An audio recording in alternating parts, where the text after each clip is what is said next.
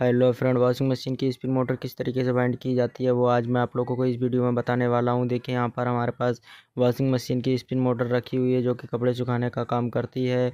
इसको हम बाइंड करने वाले हैं तो इसको किस तरीके से बाइंड किया जाता है आज मैंने आ, आप लोगों को इस वीडियो में काफ़ी कुछ सिखाया है तो आप लोग वीडियो को स्किप ना करते हुए पूरी वीडियो देखते चलिए क्योंकि इसका सारा डाटा मैंने आपको इसी वीडियो में बताया हुआ है। तो सबसे पहले हम इसका इनर डाया जो अंदर की गोलाई होती है उसको नाप लेंगे तो हमारा ये है यहाँ पर साढ़े तीन इंच, दो सूत इनर डाया है और बाहर की तरफ़ चेक कर लेते हैं तो चार इंच से हम चेक करेंगे यहाँ पर। तो यहाँ पर चेक करने पर नज़र आ रहा है कि एक बार फिर से चेक करते हैं। देखिए यहाँ पर चार इंच से चेक करते हैं तो आठ इंच तक हमारा दिखाई दे रहा है कि चार इंच, तीन सूत आउटर डाया दिखाई दे रहा है और इसके बाद बारी आती है हम इसकी मोटाई चेक कर लेंगे जो कि मोटाई इसकी सबसे अहम होती है तो इसकी मोटाई भी चेक कर लेते हैं। और इसके बाद में मैं आप लोगों को इस स्पिन मोटर को बाइंड करके भी दिखाऊँगा।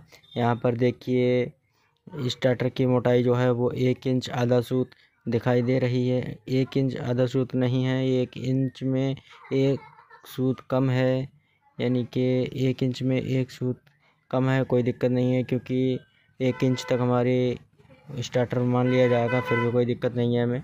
तो यहाँ पर देखिए हमारा जो स्टार्टर है, वो अभी बाइंड करने के लिए तैयार है यहाँ पर, और यहाँ पर ये मोटर रखी हुई है। ये हमारा स्टार्टर रखा हुआ है। इसको बाइंड करने के लिए कोयलें बन रही हैं, और इसके बाद में इसको हम बाइंड करके दिखाएँगे, और इसकी लेंथ भी अभी आप लोगों को चेक करके दिखाएँगे, इसकी लेंथ कितनी है, यानी कि इसकी लंबाई कितनी है, रनिंग की और स्टार्टिंग की लंबाई कितनी कितनी रखी जाएगी, वो भी मैं आप लोगों को इसी वीडियो में बताने वाला हूँ। तो देखिए, यहाँ पर अभी तो रनिंग की कोयल बन रही है। रनिंग की कोयल बन जाने के बाद मैं आप लोगों को इसकी लंबाई चेक करके दिखाता हूँ, स्केल से। और आप लोगों को दिखाता हूँ कि कितनी लंबी इसकी कोयल बन रही है। और आप लोग हमारे चैनल को लाइक सब्सक्राइब और बेल आइकन ज़रूर दबाया करें, जिससे कि आप लोगों को इसी तरीके की वीडियो हमेशा मिलती रहे। तो आइए मैं आप लोगों को इस कोयल को नाप करके दिखाता हूँ। देखिए यहाँ पर इस कोयल की लंबाई जो है वो साढ़े दस इंच है। और साढ़े साढ़े दस इंच की हमारी रनिंग की कोयल बन रही है। और इसके बाद में, मैं आप लोगों को दिखाऊँगा कि हमारी जो रनिंग की कोयल जो है वो बन चुकी है और इसकी सारी कोयलें हमने डाल दी हैं, जिसमें एक कोयल हमने बचा ली है। वो आप लोगों को दिखाने के लिए, आप लोगों को समझाने के लिए। देखिए, यहाँ पर जो स्लॉट खाली हैं, जो स्लॉट बचे हैं वो अब मैं आप लोगों को करीब से थोड़ा दिखाता हूँ। देखिए, यहाँ पर ये थोड़ा सा बड़ा स्लॉट है और इधर भी बड़ा स्लॉट है। इन दोनों स्लॉटों में हम एक एक फंदा डाल देंगे, यानी कि एक से चार इसकी पिच रहती है, यानी कि एक से चार में हम एक फंदा डालेंगे। फिर इसके ऊपर जो है, एक से चार और एक से छः इसके ऊपर आ जाता है। तो एक से छः में हम दो फंदे डालेंगे, यानी कि हमारी चार और छः पिच बोली जाएगी ये। तो सबसे पहले चार पिच जो है, उस चार पिच में हम एक फंदा डालेंगे और छः पिच में हम दो फंदे डालेंगे, जिससे हमारे रनिंग की कोयल कंप्लीट हो जाएगी। और रनिंग की कोयल कंप्लीट होने के बाद स्टार्टिंग की कोयल डाली जाएगी। और स्टार्टिंग की कोयल कितनी लंबी रहेगी, वो भी मैं आप लोगों को इस वीडियो में बताऊँगा, क्योंकि पहले आप लोग ये देख लीजिए ताकि आप लोगों को अच्छी तरीके से सारा कुछ समझ में आता रहे और आप लोग हमारे चैनल को लाइक, सब्सक्राइब भी कर दिया करें जिससे कि आप लोगों के लिए एक से एक नई बढ़िया और बेहतरीन वीडियो लाता रहूँ। तो हमने यहाँ पर इसको तो कंप्लीट कर लिया है और कंप्लीट कर लेने के बाद बारी आती है रनिंग की कोयल तो पड़ गई हैं। अब बारी आती है इसकी स्टार्टिंग की कोयल की। तो स्टार्टिंग की कोयल भी हम इसी तरीके से डालेंगे, सेम तरीका यही होने वाला है क्योंकि जिस तरीके से रनिंग की कोयल पड़ी है, इसी तरीके से हमारी स्टार्टिंग की भी कोयलें पड़ेंगी। तो हमारी स्टार्टिंग की कोयल देखिए यहाँ पर ये रही हैं और स्टार्टिंग की कोयल अब हम डालेंगे इसमें। और आप लोगों को बता दूँ स्टार्टिंग की कोयल की लंबाई हमने कितनी रखी है? तो हमने स्टार्टिंग की कोयल रखी है साढ़े दस इंच यानी कि रनिंग की कोयल और स्टार्टिंग की कोयल हमने सेम रखी है।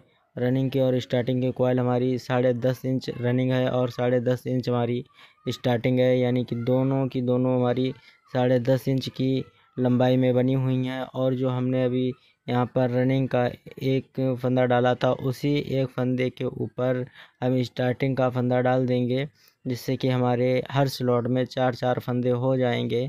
तो यहाँ पर हमने एक एक फंदा डाल दिया है और इसके ऊपर जो स्लॉट बाकी है, उसमें हम स्टार्टिंग के दो फंदे डाल देंगे जिससे कि ये हमारा एक कॉयल पूरा कंप्लीट हो जाएगा। इसी तरीके से हमें चारों कॉयलें डाल लेना होंगी और हमारा स्टार्टर जो है पूरा वेंड हो जाएगा, यानी पूरी मोटर हमारी कंप्लीट हो जाएगी। और फिर मैं आप लोगों को अभी बताने वाला हूँ कि इसमें कितने नंबर आप लोगों को तार डालना है और कितने, किस चीज़ में बनाना है, कितना मतलब कॉपर में बनाना है या अलमोनियम में बनाना है, वो भी मैं आप लोगों को इसमें बताऊँगा। तो अभी तो मैंने इसकी एक कोयल को डाल दिया है। इसी तरीके से सारी कोयलों को डालना है। तो आप लोग हमारे चैनल को लाइक सब्सक्राइब ज़रूर किया करें, जिससे कि आप लोगों को इसी तरीके की वीडियो हमेशा मिलती रहे। मेरे चैनल में और भी सारी वीडियो पड़ी हुई हैं, क्योंकि काफ़ी सारी वीडियो डाल रखी हैं मैंने। हर चीज़ की अलग अलग वीडियो पड़ी हुई हैं। तो यहाँ पर देखिए, हमने स्टार्टिंग की सारी की सारी कॉलें डाल ली हैं। तो अब बारी आ चुकी है आप लोगों को इसका डाटा देने के बारे में। तो यहाँ पर मैंने इसमें रनिंग की कोयल जो बनाई है और स्टार्टिंग की कोयल जो बनाई है, वो हमने रखी है साढ़े दस इंच की। दोनों दोनों कोयलों का साइज़ है साढ़े दस इंच और ये कापर में मोटर है, जो कि जी वॉशिंग मशीन की मोटर है स्पिन मोटर जो कपड़े सुखाती है। तो इसमें पूरी मोटर हमने कापर से तैयार की है। तो रनिंग की कोयल हमने तैयार की है बत्तीस नंबर से और स्टार्टिंग की कोयल की हमने तैंतीस नंबर से, जिसमें हमने फंदे डाले हैं। रनिंग की कोयल में और स्टार्टिंग की कोयल में सेम फंदे डाले हैं। 130 रनिंग की कॉयल में डाले हैं और 130 स्टार्टिंग की कॉयल में फंदे डाले हैं, जिससे कि हमारी मोटर काफ़ी अच्छी तरीके से वर्क करेगी और काफ़ी अच्छा रिज़ल्ट होने वाला है। तो यहाँ पर हमारी मोटर तो बनकर तैयार हो गई है, इसको हमने फिट भी कर लिया है और मैंने आपको डाटा भी सारा बता दिया है, जो कि मैंने बत्तीस और तैंतीस नंबर से बनाई हुई है मोटर।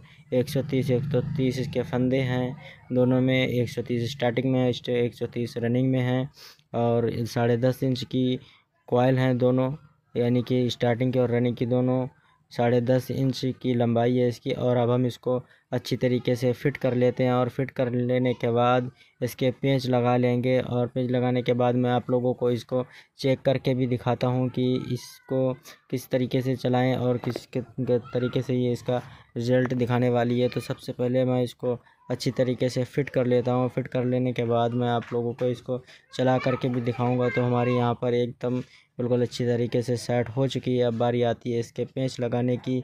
तो हमारे यहाँ पर ये चार पेंच रखे हुए हैं जो हमें इसके चारों कोनों पर लगाना होंगे, अच्छी तरीके से कस लेना होंगे ताकि हमारे मोटर अच्छी तरीके से फिक्स हो जाए और काफ़ी अच्छा रिज़ल्ट होने वाला है। तो हमने अपने मोटर के चारों पेंचों को कस लिया है और कस लेने के बाद बारी आती है इसको चलाने की। तो यहाँ पर देखिए, हमारी मोटर में काफ़ी चारों पेंच कस चुके हैं और मैं आप लोगों को इसको चला करके भी दिखाता हूँ। तो देखिए, मैंने यहाँ पर एक जो वायर जो है वो जोड़ ली है।